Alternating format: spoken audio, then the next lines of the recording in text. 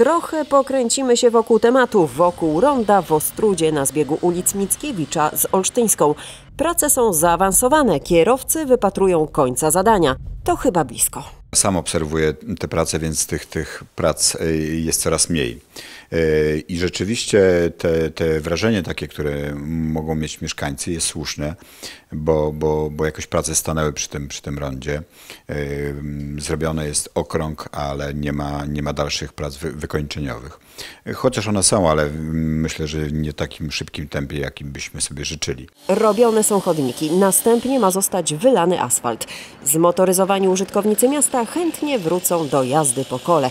Prace mają nabrać tempa, tym bardziej, że czeka w kolejce przebudowa drugiego ronda na połączeniu ulic Drwęcka, Olsztyńska i Niepodległości. W kontrakcie są dwa ronda, w tym jednym, w tym samym kontrakcie, czyli rondo o tym, te, te, które pani mówi i drugie koło netto. I tak się umówiliśmy z wykonawcą, że, że najpierw będzie wykonane to rondo e, koło Starego Sądu, żeby nie zamykać drogi zjazdowej z, z, z wiaduktu.